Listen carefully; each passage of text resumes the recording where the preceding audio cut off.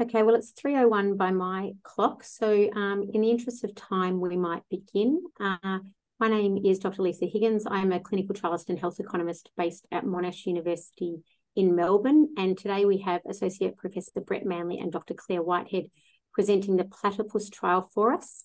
Uh, but before we begin, I would like to acknowledge the traditional custodians of the lands on which we meet today, which for me is the Wurundjeri people of the Kulin Nation, and pay my respects to their elders past, present and emerging, and to also extend that respect to any Aboriginal and Torres Strait Islander peoples here with us today.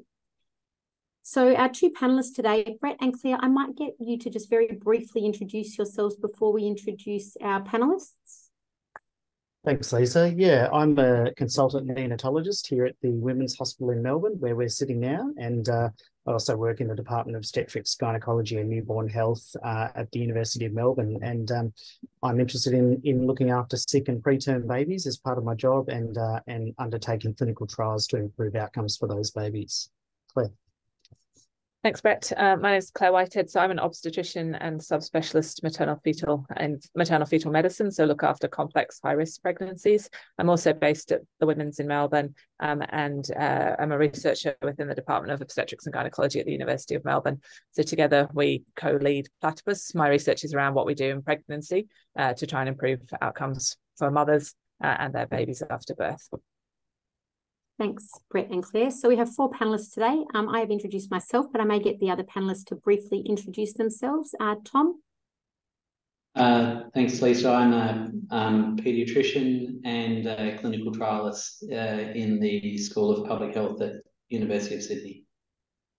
Mitch? Uh, I'm a um, consumer advocate and consumer advisor to uh, Tom's team and work as a community involvement coordinator at Telethon Kids Institute. And Cam? Great. And I work as the, the project manager for a trial called REMAP-CAP, which is an adaptive platform trial, and I'm based at Monash University in Melbourne.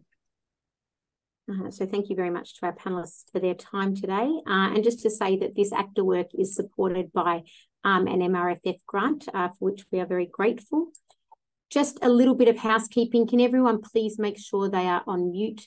Um, if during the during Brett and Clare's presentation you have any questions, please do put them in the chat and we will go through them after the presentation. Uh, and we'll also, Clare and Brett will be presenting some questions to the panel at the end of their presentation. And this session will be recorded um, and be made available on the ACTA website. So uh, for those who don't want, um, please keep your video and audio off um, unless you are speaking uh, after the presentation. Uh, so I will stop sharing and hand over to Brett and Clare to begin their presentation.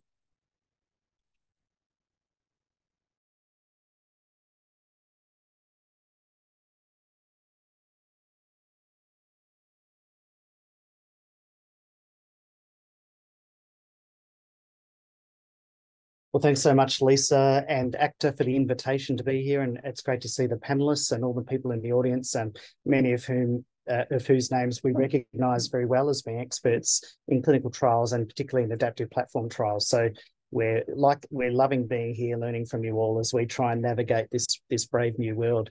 Um, we're here today to present uh, the platypus trial. This is a, a world first perinatal adaptive platform trial that we co-lead as a, as a neonatologist and an obstetrician together. And the aim of this platform and the trials within it are to improve outcomes for babies born premature. So here's a little extremely preterm baby who's about three seconds old.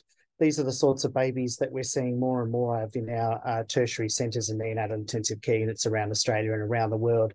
And whilst this little guy is about a, a 25 week preterm baby, we're now looking after babies born as early as 23 and 22 weeks gestation more and more frequently. And uh, as you might expect, the evidence for things that we do is, is getting weaker and weaker as we look after smaller and sicker babies. Preterm births are a huge problem for uh, the community. So about 10% of all births around the world are preterm before 37 weeks gestation. And if you look at it in broad numbers around the world, about 15 million are born per year and about 1 million die. So that's the greatest cause of death uh, for children under five years old in the world. In Australia, the, the problem is still a big one. About 8% of all births are preterm, and that adds up to about 25,000 preterm babies born each year in Australia. When we think about the smallest and sickest preterm infants, they're extremely preterm babies born before 28 weeks gestation or more than three months early. There's about almost 800,000 of these born each year around the world, about 1,200 in Australia and New Zealand combined. So um, a relatively small number, but a big burden on the health system and families. And, and uh, obviously these babies have a lot of challenges through the first months of their life if they survive and mortality is quite high. Um, if you're thinking of this as any other disease with a mortality of 15 or 20%, you'd think that was pretty high.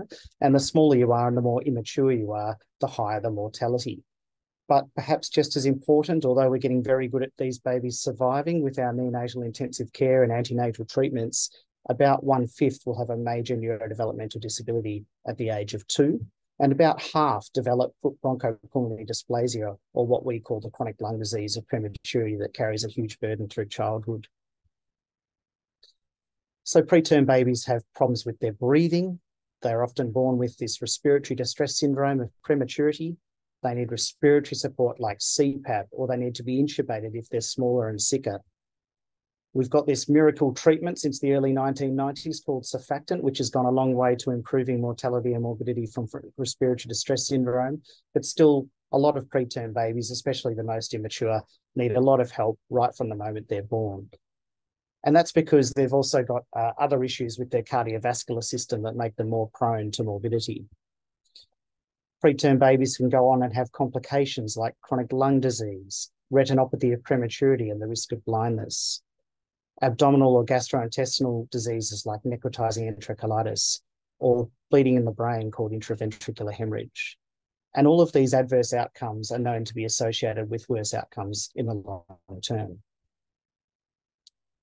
Having just spoken about the sorts of problems that the tiniest babies have, it's important to point out that moderate or late preterm babies are much more common than extremely preterm babies, as I said on some of the earlier slides, and in fact represent the bulk, the bulk of morbidity at a societal level. So these are babies that are more like 32, 33, 34, right up to 36 weeks gestation, who still require admission to the neonatal unit, are still separated from their mother and family, and can still have breathing problems, infection, hypoglycemia, jaundice, or feeding issues that require a stay in the neonatal unit, which can be days or weeks. I'm going to pass over to Clare. So what do we do to try and improve the outcomes for these babies currently? So there's a huge number of clinical trials going on, both in mothers during pregnancy um, and in the neonatal uh, units to try and understand how we can do things better. And when we look just at data from clinicaltrials.gov, you know, we've got four 460 um, trials that are ongoing. We're currently recruiting in Australia and New Zealand. Apparently, we've got nearly 120. But we know that 50% of these trials will never be completed. Um, 30% of those will actually never make it to publication. There's increasing concerns that the data that is being published may in fact be false. And we've had a, a number of examples in obstetrics and neonatal research of that. Um, but a lot of the time, these trials are inconclusive, they're underpowered, they need to be repeated, and questions remain unanswered. Um, and this all costs money. And so one example of this is antenatal corticosteroids. So Brett mentioned surfactant, but we give the mother corticosteroids when she's pregnant, expecting a preterm baby to try and improve the lung development of those babies. And we first did this about 50 years ago, but we've still got so many unanswered questions about what we should be doing. We still don't really know who to give it to and when, what gestational age um, babies benefit from it. And this has been made worse by the fact that data that we thought we could believe has recently been retracted. Um, there are trials ongoing in Australia and New Zealand to answer this. We don't know which is the best steroid drug to give. And again, there's trials going on internationally and within Australia to try and answer which drug, which dose, um, at which gestation. And then we don't know what to do for particular populations. Some others with certain medical conditions, such as diabetes, where the risk is even higher of causing problems by giving steroids. Um, and again, we've got another trial recruiting in Australia at the moment. So as you can see, if we just think about steroids, We've got four trials running trying to answer simple questions that all could potentially be uh, combined into an adaptive platform trial rather than being run individually. It's not just in mothers that we don't really know what to do with steroids. So the same, there's many unanswered questions about what to do with steroid use in babies. So it's used to try and prevent um, the chronic lung disease that Brett spoke about. And again, trials have been running for many, many years in this area with large numbers of babies um, included, looking at different types of drugs um, and different ways of administering them. And again, we still don't really have the answer about who, when, which drug um, and what to do and how long we should be giving, giving them for. So another um, example of what an adaptive platform trial might be better useful. We do have individual trials trying to answer some of these questions. And our current use of evidence is actually pretty poor in terms of what we do in obstetrics and gynecology and, and neonatal medicine as well. So this is a, just an example from a paper that was published recently looking at the guidelines that were produced by the Society for Maternal Fetal Medicine. So this is a big organization in the US that provides guidelines for care of pregnancy and complex pregnancy. And only 8% of the recommendations were actually based on data that had been supported by RCTs, the large of it being consensus or limited evidence driving it. Um, and it's not just in America, we see this. If we look internationally and we look at the WHO guidelines for what to do for preterm infants, again, the, the evidence and the uh, quality of the evidence that drives those uh, those guidelines is still pretty low, and there's many many unanswered questions.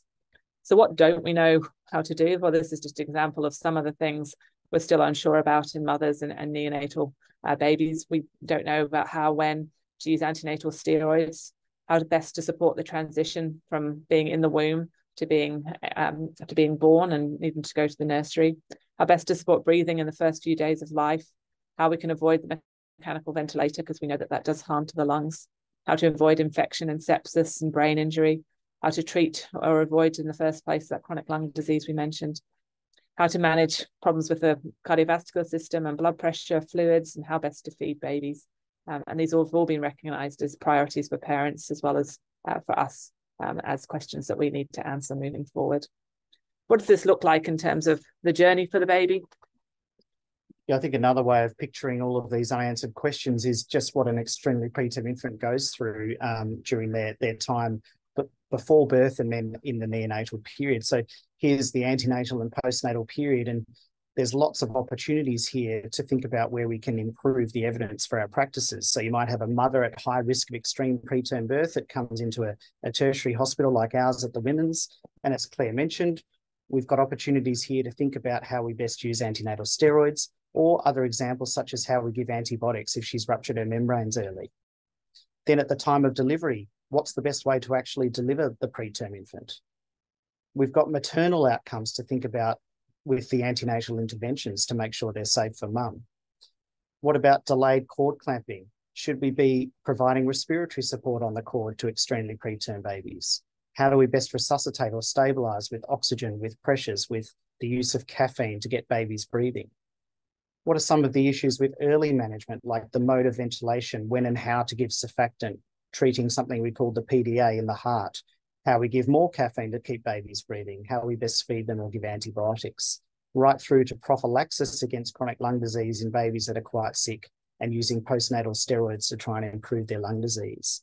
And you can imagine over this sort of continuum, the multiple opportunities as a baby moves through um, this time course to, to randomize treatments or to compare treatments to work out which is best. And for us, it's not only about how a baby is in the neonatal period or whether they survive to go home. We have to think about our patients quite differently from some other specialties because it's all about how they grow up.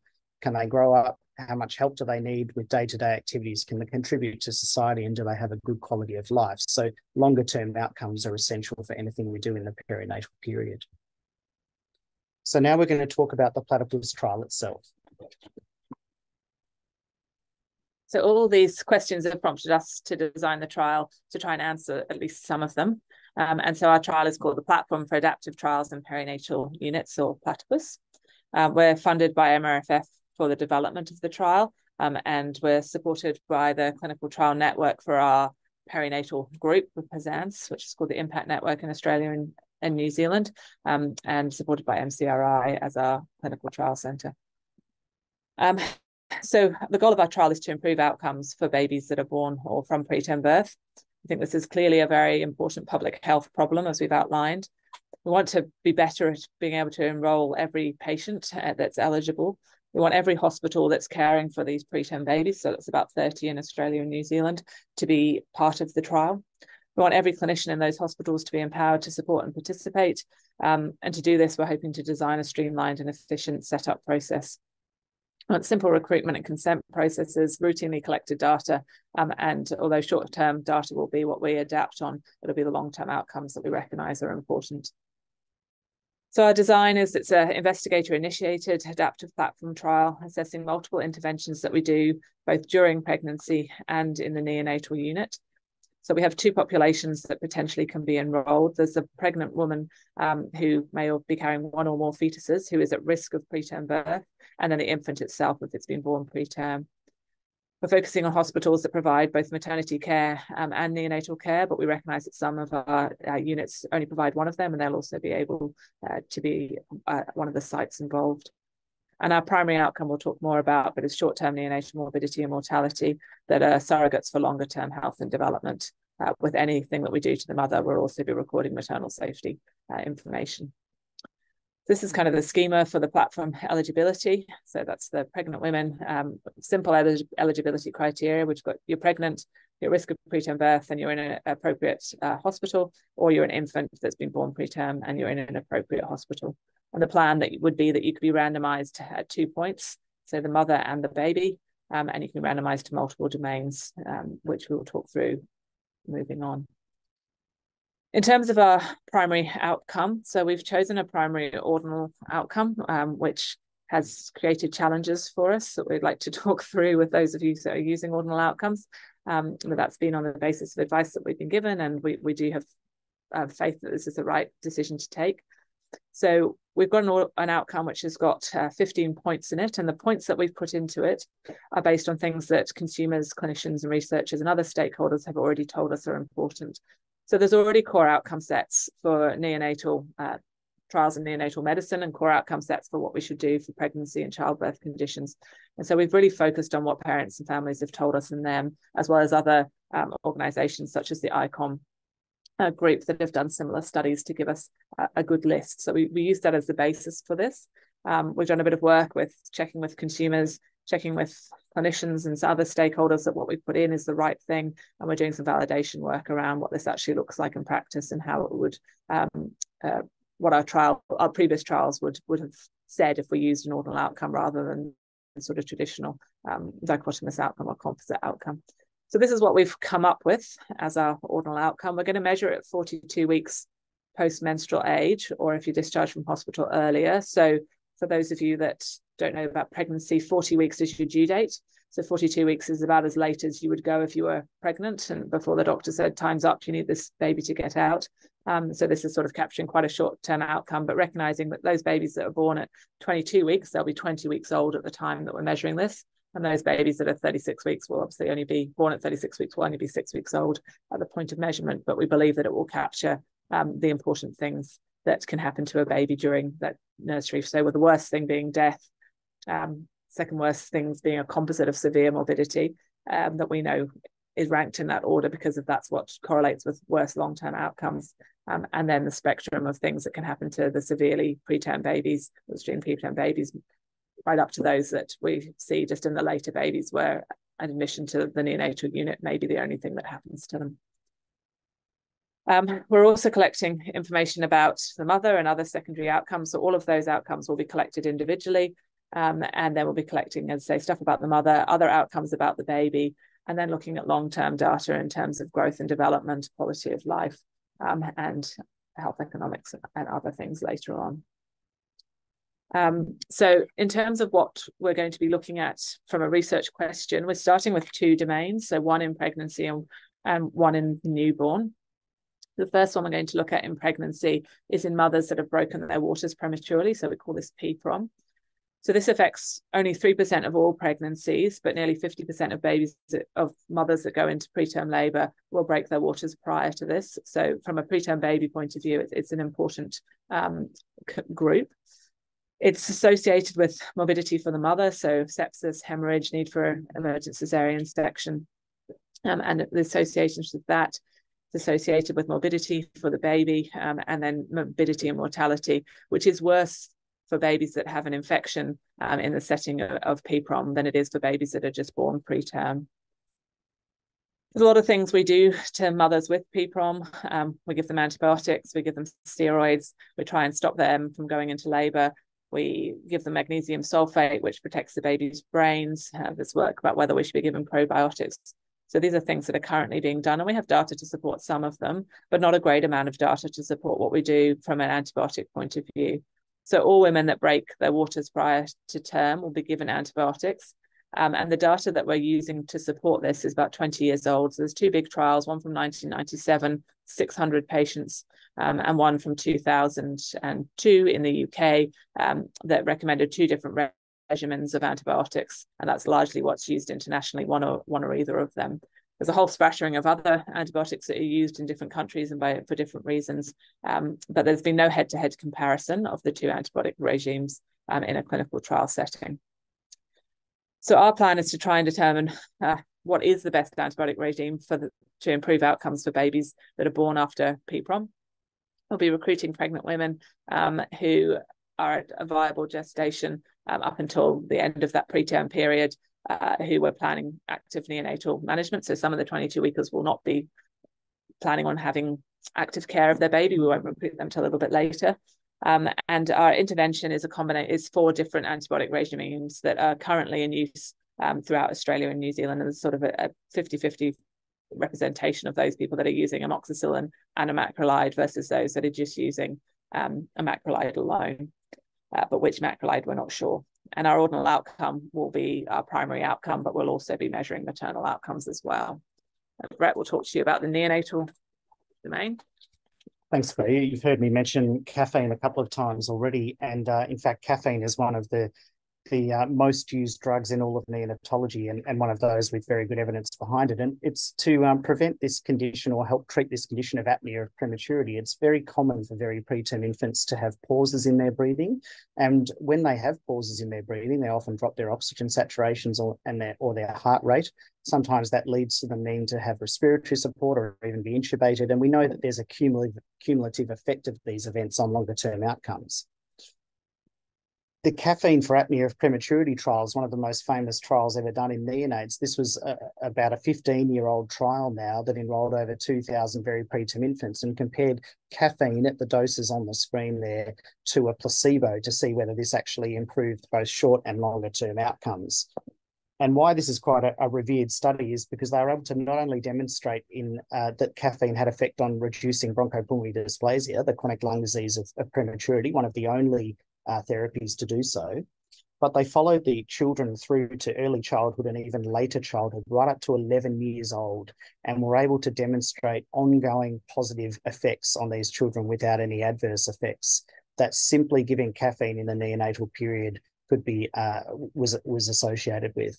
Uh, I think this really highlights some of the challenges that we have in perinatal medicine, the need to follow our patients for a long time to determine ongoing efficacy and safety. So the use of caffeine and how we use it is a hot topic because of go, although we've got that great CAP trial, like a lot of things in our profession, a little bit's good, so maybe more is better, and people have been using it more. Uh, there's uncertainty uh, at higher doses, uncertainty about when it should be start, stopped, whether you should stop and start it at various times in the stay of a preterm baby.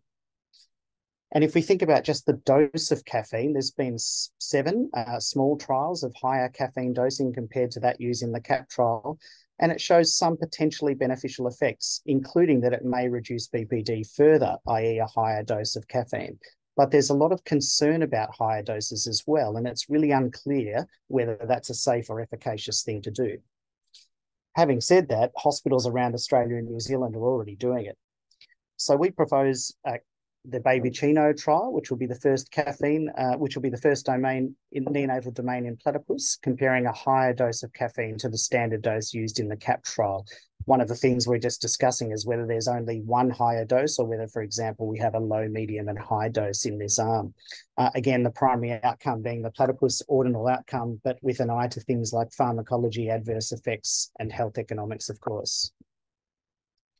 So how have we been going to date with our planning for platypus, which is uh, already more than two years in the making?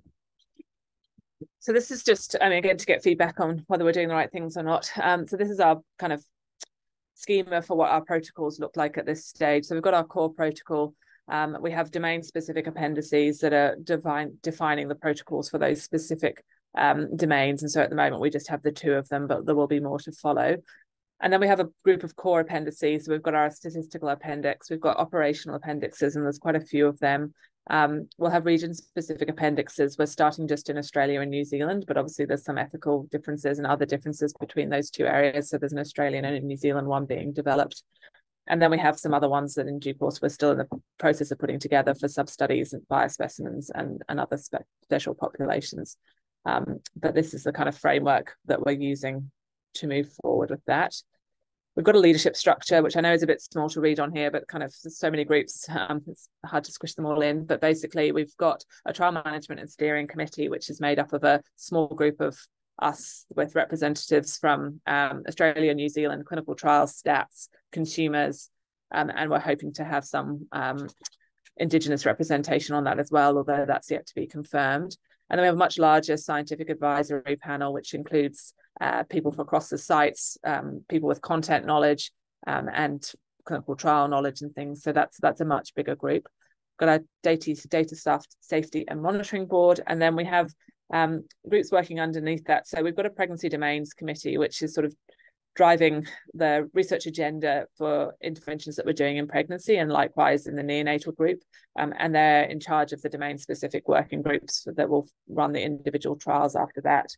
We've got a lived experience committee, um, which will be for both Australia and New Zealand. We're trying to establish our Indigenous Health Committee, committee at the moment. Um, and we've got a Stats Advisory Committee, which at the moment is running as a Stats Advisory Committee, but will split in due course to the analytics team um, as well once we actually start recruiting patients.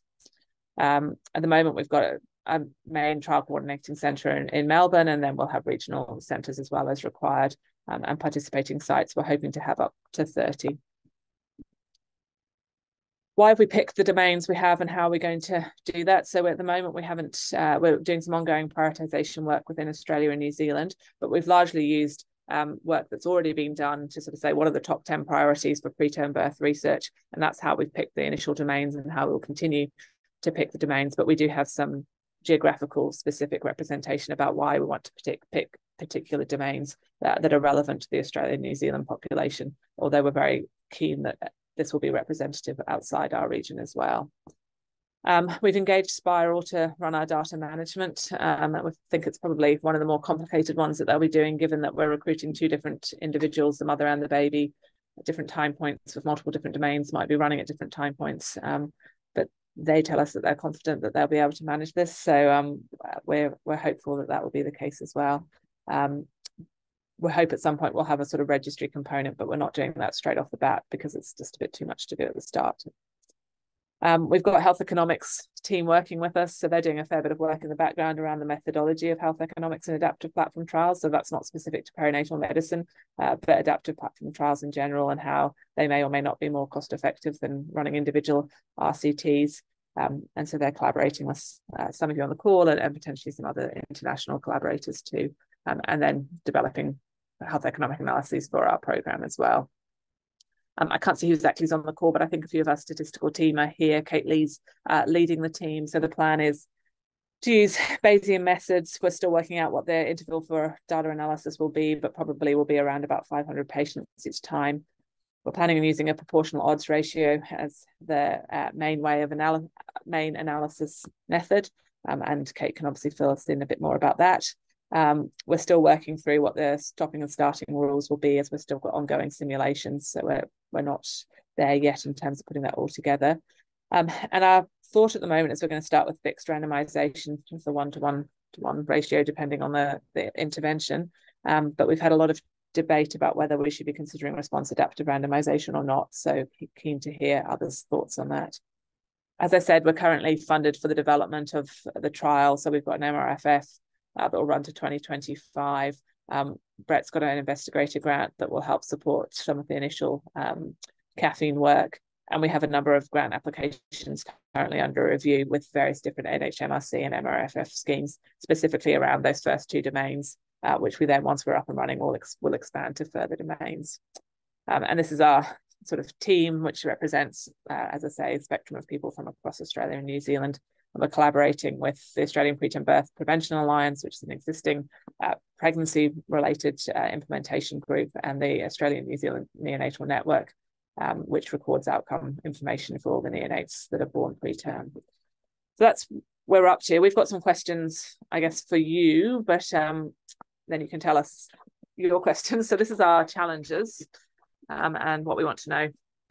Yeah, so we just run through some of these things to get get the discussion going for the last minute or so. Firstly, um, I mentioned this is a world first scenario, and and having two patients or more is is something that's pretty tricky. Uh, adds extra dimensions to all all components of the platform, really, um, and therefore two entry points to the platform: a, a mother or, or a child um, multiple time points for different domains. I sort of ran through that timeline of an extremely preterm infant. You can see how many different time points there are where we may want to compare uh, treatments or interventions. Uh, multiple domains with multiple interventions. We've discussed the neonatal primary ordinal outcome, which we've uh, which we have developed especially for this new trial. Um, and because it's new, that means it comes with challenges as well how we balance the outcomes of, or the primary outcome of the trial against longer term outcomes and against maternal outcomes. For example, what if something improves outcomes for babies but is dangerous for mothers? Um, how we embed the trial uh, with registry data collection and with uh, routinely collected data will be a challenge. We've instigated this trial in Australia and New Zealand to try and keep it controlled. And, and what a great place it is to have the trial, no doubt about it, that between us we can answer these questions. But of course, whether we go internationally has been uh, something that's been on our minds. And providing insurance and sponsorship, um, we're very keen to hear how others have done it. Um, you know, this is a fairly daunting, daunting ask of sponsors and insurers, I think, to think about the potential for antenatal and postnatal interventions in a, a, very sick population of babies and mothers at risk as well. We've been thinking about where we should register the platform and clinicaltrials.gov seems to be the most likely at the moment, but you know, happy to hear what others have done and whether you've registered different domains in different places or how you've managed that.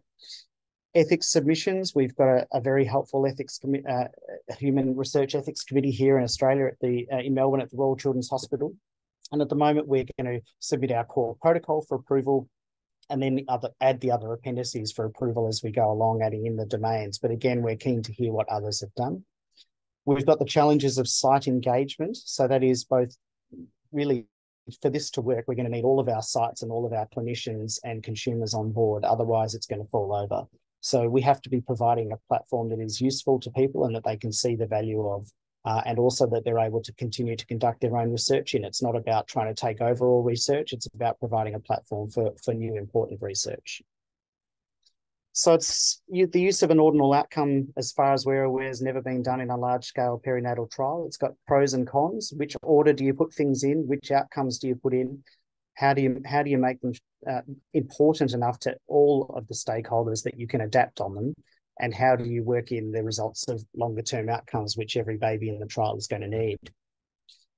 In terms of the analysis, there's the ongoing simulation work, which is complex and takes time. We've been talking about using a proportional odds ratio. We've brought, Clare's brought up the issue of whether we think about response adaptive randomization, which brings its own complexities.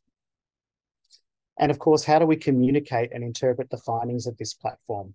Um, perinatal clinicians and consumers are not used to uh, being part of these sorts of trials. We're not used to hearing the results or the conclusions for these sort of trials. And when you think about what I've put in blue there being uh, a proposed sort of conclusion of a trial like this, or of REMAP-CAP or of recovery or others, it's just about getting people's heads around what it all actually means and how you interpret it. So there's some of the challenges and questions that we'd like to throw out to the audience. Thanks again, everyone, for listening, uh, and we'll we'll throw open to the floor now. Thanks, Brett and Clare. That was fantastic. I might get you to flick back to where your questions are, um, if that's possible. Um, and then I might just open either Mitch or Tom or Cam, if any of you want to start with any of them. I know Brett and Clare, sorry, they're on multiple slides. Um, there, there's numerous there. Um, Cam, do you want to start with the um, questions about the sponsor and insurance and those types of things? Um, sure, the easy ones. Um, um, I just want to say, fantastic uh, project. It's such an interesting area and obviously one that has potential for a lot of impact. And um, also just want to congratulate you on your your names. Baby Chino is fantastic. Uh, it's great. Um, actually, I might just quickly comment on the registration um, because I've been actually part of uh, a discussion recently for um, an ACTA special interest group about this. So um, clinicaltrials.gov have some have a paper that I'll put into the chat. Recommends having an entry for your sort of master protocol, um, so to speak, and then a separate one for each domain. I have to say that's not the approach that we took for Remap Cap. Um, the reasons they recommend that are in the paper, but the reasons that we went down that path are partially because we'd already uh, created a single entry for multiple domains, but also um, just the, the burden of workload of keeping everything updated and, and aligned was was a bit too much uh, for us. But I'll, I'll put that into the chat, so hopefully that helps a little bit. And did clinical trials push back on that that sort of um, approach, Cam? Well, we've had a look at your trial registration exact for that very reason to see how you've done it, but they've obviously let it let it through. Yes, yeah, yeah, they did. Um, so I contacted them directly to ask about it, and they did um, that they recommended the other approach, but we haven't had any um, any sort of pushback yet. Um, uh, look, I'm not sure about insurance. Um, yes, it does seem like it's a it's a fairly uh, difficult population for um, but I mean, we we do trials in you know critically ill patients all the time with you know more or less risky interventions. So I think um, you know talking to your institution and you know through universities often have clinical and trial insurance that will cover um, a range of things. Um, but I'm not sure how much more I can say about that. Um, in terms of sponsorship, um, look, I think the only thing I can recommend is is um, I think having one core team, even if you're across uh, multiple uh, regions, is useful um, to, to sort of have clear delegation of responsibilities. Um, again, not the approach that we've necessarily taken with Remap, but I, I think that would help a lot. Um, and yeah, I might I might just see if anyone else has any other comments on those things. I might just throw to Andrew, who's got his hand up. I assume it's in relation to this component of what we're talking about, Andrew. Yeah, it's just that the, as Brett probably knows already, the and Clare, the, the insurance only becomes a major problem when you move internationally, and that it will it you can probably get it, but it'll just be very expensive, and you'll need to think about how you engage regional sponsors to try and mitigate the cost. Um, yes, Andrew. I think that's one of the one of the reasons that we're trying to. This is not starting small by any by any measure, but one of the reasons that we're not sort of trying to go worldwide to start with, just get things bedded down in Australia and and New Zealand, um, and and and those two countries have a long history of working together on clinical trials. So we're hoping that that that does um, that does reduce some of those difficulties. Yeah. yeah. but I think that insurance, even within Australia and New Zealand, is something certainly with pregnancy trials where we've had to have had to have sponsors and separate insurance for different countries. So we can talk more about that, Andrew. Thanks. Um, Brett I just wanted to talk about you, you. You know, you initially spoke about fixed randomization and not doing response adaptive randomization. And I think the first thing when I looked at your baby Chino domain was thinking, why do you only have two interventions? You know, to only look at the standard and then one higher is only going to. I, I, I sort of, I suppose, I wondered about why you wouldn't put in multiple doses and have response adaptive randomization and you'll pretty quickly drop out hopefully you know the doses that aren't you know and, and you know with response adaptive randomization with more than two interventions you're going to increase your power by using rar um, and, and to me to do it to do a domain where you have the opportunity to try and find the right dose as opposed to just comparing two doses I, I think I would definitely be looking at adding doses and using response adaptive randomization to to get to the correct dose rather than having a domain trigger and going, okay, well, this dose is better than this dose, but we still probably haven't answered the question about what the right dose is. We've just answered that one dose is better than the other. Yeah, thanks, Lisa. And that's certainly how we've planned our grants. And until about one day ago, how we planned the protocol as well. This is still a discussion point. One of the issues is that there isn't actually a wide enough range of doses that we feel are potentially safe to be able to have five or six different doses, for example. I think it's feasible to have a, a low, medium, and high dose, which is what we put into our grants and what we still may do. Um, some of the issues that creates are with overlap between the groups. So there's the ability for clinicians to go up or down a bit, and that means that there's a bit of uh, overlap between groups, which will, you know, which which isn't isn't ideal. Um, so certainly thinking about it in terms of the response adaptive randomization part of it, we had talked about that being a part of the trial, but um, our statisticians have been sort of moving away from it a little bit uh, we, we be mainly because of the complexities that involves with analysis and uh, interim analyses. But Kate Lee's there. I don't know if Rob Mahar's on the call or anyone else from, from the Platypus Stats team would like to comment on the pros and cons of response adaptive randomization in this trial. Are you on? I Kate, I can't see my whole screen, but are you online, Kate? Do you want to speak? Yeah, to no, I am here. Um, I think Rob's probably in a better position to answer than I am. Rob, do you want to jump in? If not, I'll say something. Um, yeah, I think the main reasons that we've moved away from response adaptive randomization is apart from, as Brett mentioned, the complexities, this is already a complex trial. Um, we need to sort of uh, keep it keep it feasible for the for the analyst. Um, but also just there's there's uh, reasons there's some really good reasons not to do response adaptive randomization. Uh, and in this one especially, um, one of the main sort of one of the main um, challenges if we did implement response adaptive randomization would be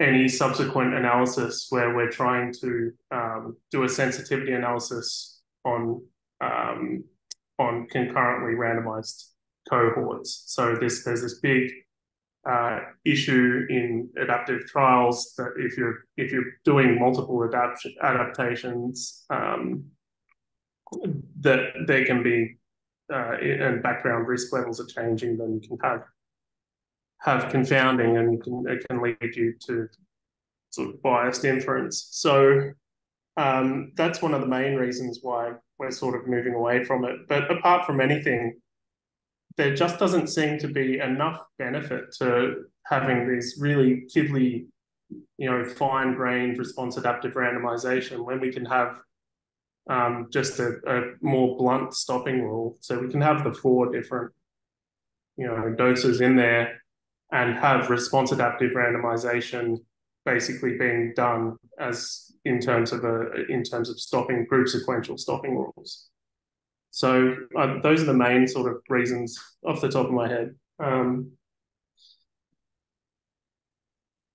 I, I suppose for me, one of the things I think about RAR is that it's actually a selling point when you're getting consent that that that, you know like I, would be really interested in Mitch's thoughts on this because being able to say to someone they are like they are more likely to be randomized to the intervention that is likely to result in a better outcome is actually from a consent point of view. Um, i think it makes the trial quite appealing to the public and to people is you know and, and i obviously work in icu and um, you know in very very stressful situations i think a trial going where where you know you're explaining that we're, we don't know the answer but the likely you know you've got a higher likelihood of being randomized to the intervention that's currently looking like it's performing the best. But mitch do you maybe want to comment?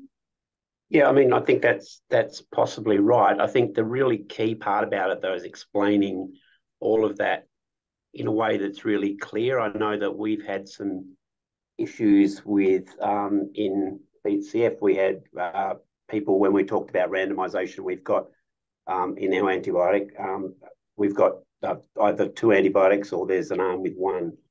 And I think one of the things we found out is we've got to be really, you've got to be really clear about why you're doing it. So that explanation of we're not sure what's best is really got to be got to be up front and um, before you go on to the next bit because that's that's really what people are listening for and um, and making sure that you know you, you're talking about what are the outcomes that are you've got those James Lind ones. I think they're the James Lind ones you've used, and making sure that we're actually making explaining how you're trying to get to those outcomes, which have been um, validated by by communities. So I think being really clear up front about what it is, and I think a response adaptive randomization is is a really good selling point, as you said, Lisa, because it is one of those things where you can, instead of, I think that whole regular thing is, you know, there may be nothing you won't find anything about. This is actually giving a potential benefit to people that they wouldn't get otherwise when you've got so so that would be another benefit along the way to explain. I think that you have to be cautious about. I mean, it is a nice. I keep thinking, you know, it is a really nice, fluffy selling point that we can have this trial that learns all these things, but we need to make sure that it doesn't mess with the statistical machinery. That's the main thing.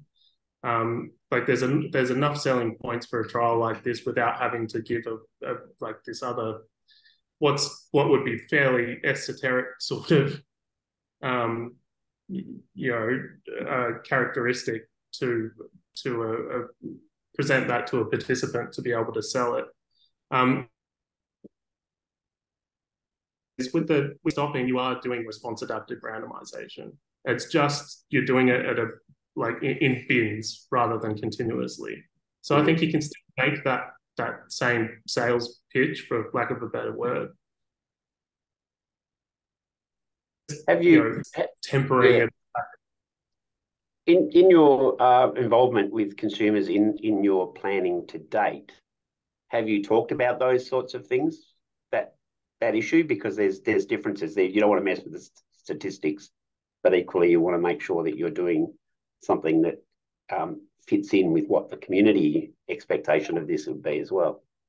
So have you had that sort of conversation with people? You've the short answer is about responsive adaptation specifically no, but right. I think I think as Rob sort of pointed out, we've got to work out what's going to work first. And if we have options, then I think absolutely we go to, to our to our lived experience team and say, you know, is this something you you want to push for? But I think if our statisticians are coming to the conclusion that it's that as Rob puts it, it's going to muck up the machinery of the entire trial or make our lives harder, mm. uh, it, it, might not be something we can actually offer um, because the the getting the answers and getting the trial to work is so critically important for health outcomes that um, we wouldn't want to mess it up.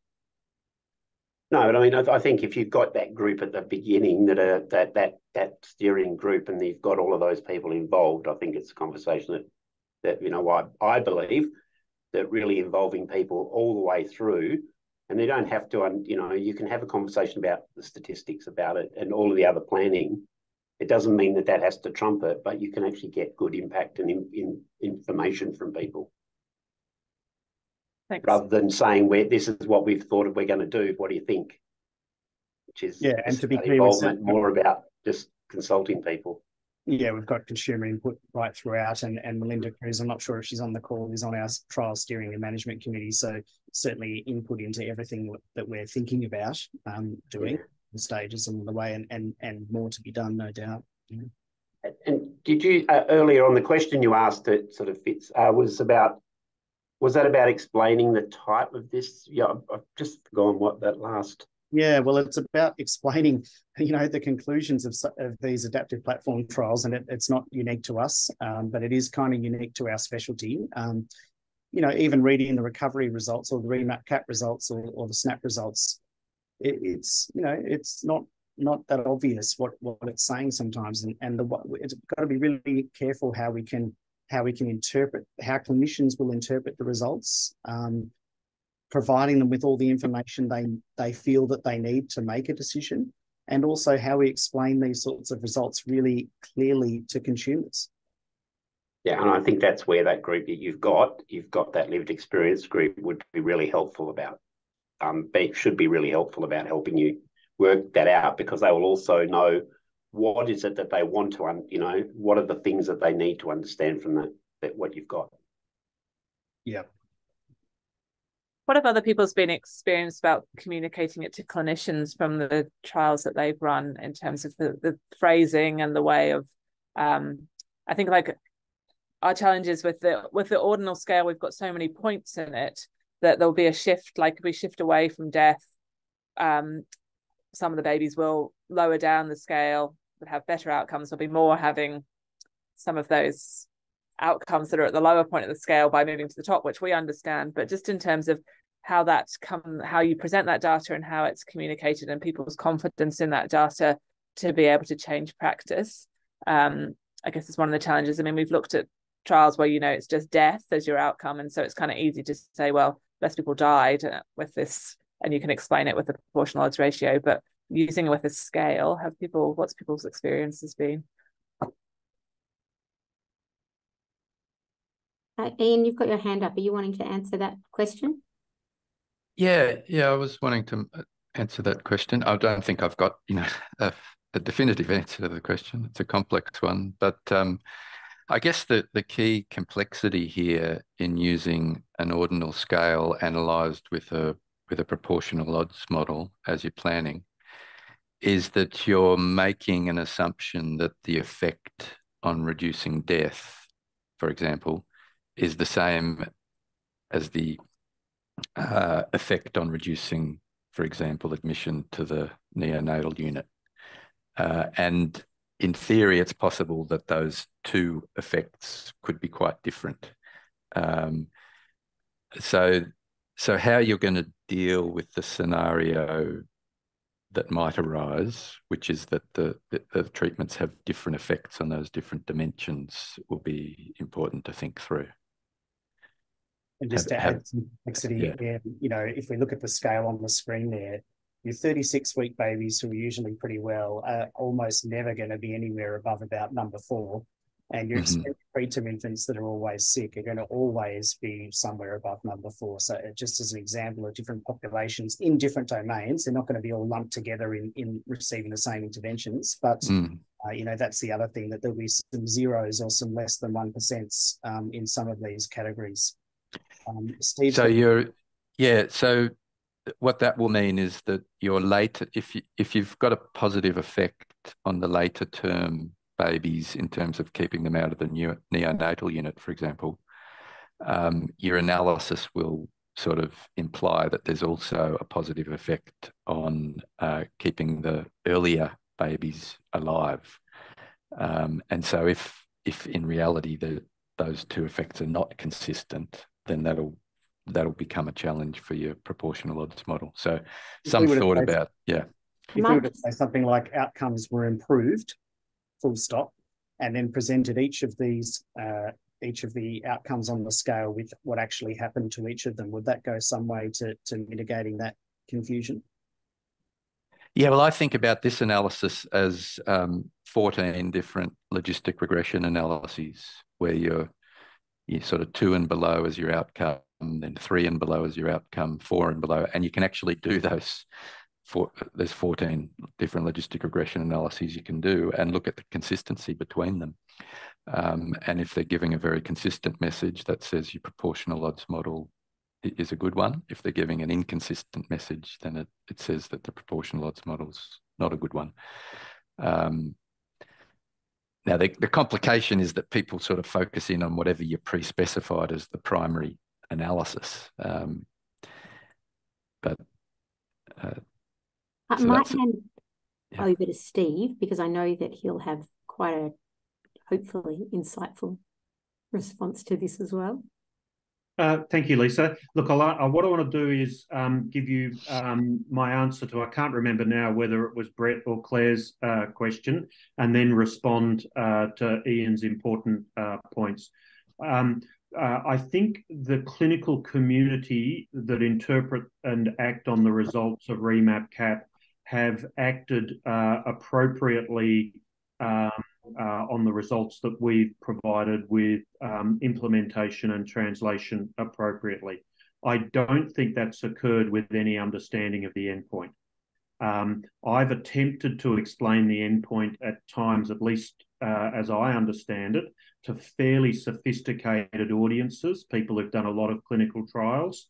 And I'm fairly sure that I've failed to explain uh, the nuances, even uh, to a group who've done a lot of trials, let alone uh, coalface uh, clinicians.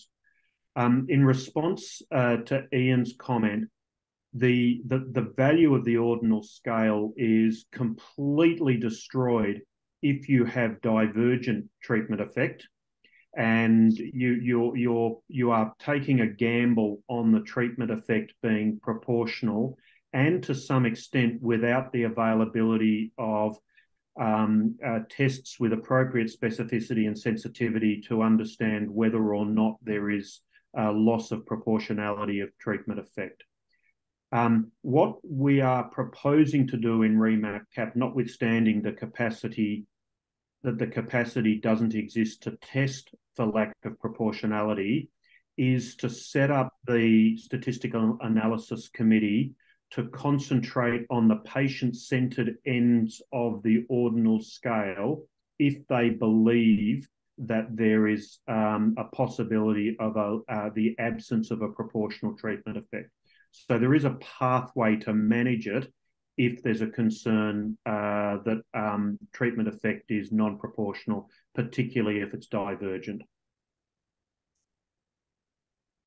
Now, I'm just very wary of time. I think we can probably have some more discussion. But Nikki, are you online? Because I do want before some people, I realize some people need to leave in a couple of minutes.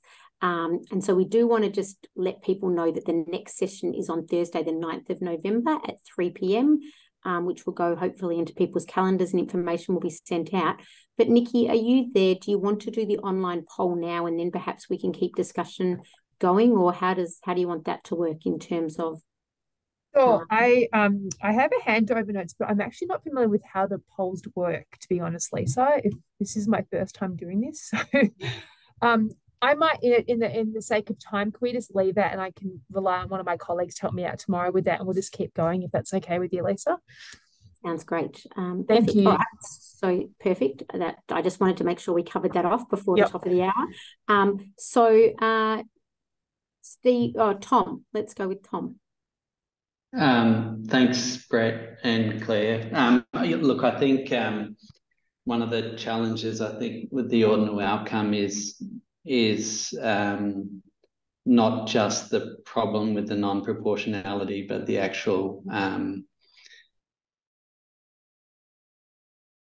both, um, you know, reducing the risk of ne- necrotizing enterocolitis, for example, but increasing the risk of brain injury. So there's not a sort of a natural sequence to it. Whereas where we've often used ordinal outcomes before, there is a natural natural sequence, like number of days free of ventilatory support or whatever. If you've got five, if you've got five days, and you've had at least four, and you've, and you've if you've got four, you've had at least three. So there's sort of a natural sequence. So whereas here, um, they're sort of ranked in terms of badness, but there's no natural sequence um, to to them. So I think that that problem with one intervention, you know, having uh, um, moving in one direction at one end of the scale, in the other direction, the other, I think is a real is a is a much bigger problem here than perhaps perhaps others. Um, so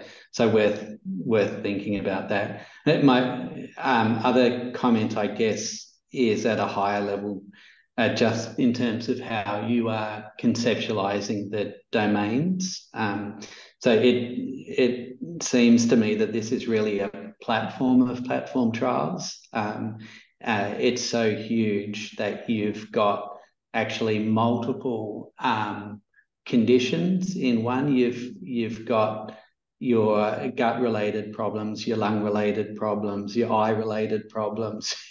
um, and each one of those could be a platform uh, in itself. And the sort of immediate objectives of treatment are not identical in, in each of them. And if you're trying to evaluate a treatment, um, the way you might evaluate a treatment for um, uh, for either prevention or treatment of um, bronchopulmonary dysplasia would be very different from how you might evaluate some treatment or prevention of retinopathy of prematurity or, or, or whatever. So it is really nice to have the core outcome set, and it is really nice to think about as some sort of natural ordering of the badness of those things and perhaps even try to weight the badness of those of those various outcomes. But um, uh, you might have difficulty uh, if you're using that ordinal outcome as the basis for um, evaluating a particular treatment within a um, domain or for a particular condition um, you might lose some sensitivity uh, there to be able to to make make make decisions that uh, compared to if you had actually different outcomes um, uh, for each of those different contexts of of care. Because I imagine unless this is all about is this all about prevent prevention or that is going to apply to every mum and to every baby? Or are we thinking that there are going to be some babies who have got um, evidence of intraventricular hemorrhage or who have got um, gut problems, and so they're going to be eligible for a specific domain, but not eligible for for another one. Because it seems as though they're perhaps for some babies the object immediate objectives are a little bit little bit different from from other babies. Yeah, that's a, a, very, very good point, Tom, and something we've thought a bit about. And yes, it sort of lends itself to the prevention rather than coming in at 50 days of age when you already might be halfway up the scale and trying to prevent something else above it, doesn't it? Um, certainly, of course, the pregnancy domains and interventions are all about prevention um, because they're antenatal and anything that happens in early life similarly. But uh, yes, it does it does create a problem for, for example, if you want to randomize a a 23 weeker when they're two months old. Um, and some of these things have already happened to them. Yeah, food for thought. We were keen though that we did have some. I mean, it's a platform for platforms. I totally agree with you. Like this, the domains are a could be an APT in their own, a platform trial in their own right. Um, but we were keen that we had something that sort of flowed through for most babies that journey from fetus to the baby, um, and we completely recognise that it doesn't fit for all like trials and it, it doesn't fit for me, like everything and we encourage people to continue to do it but it was just a way of kind of bringing the infrastructure together and um, enabling us to do more trials where we're following through that journey and we're looking at things across that time frame. So it's not going to be fit for purpose for everything but what we didn't want was to end up with lots and lots of platform trials. So we have colleagues um, not in australia and new zealand but overseas you know planning a, a NEC trial for example or a feeding trial um, as an isolated platform trial and then another group is planning on a, one about a particular drug and our concern is it just is going to be very confusing for hospitals and um, and individual sites to be recruiting for multiple platform trials. So if we can encompass it in one and have at least a subset of domains that are appropriate for a group of patients that run through it that we'll, we think that's probably the right way to go um, and recognizing that there'll be other things running in parallel. Steve yeah, look, uh, thanks, uh, Lisa. Um, I want to en endorse what Tom said uh, in the first part of his um, uh, comment, um, but um, uh, I put a, a, contrary view in relation to the um, uh, second side of what he talked about. If I look at the slides that's on, on the screen at the moment, that feels very process mechanism oriented to me.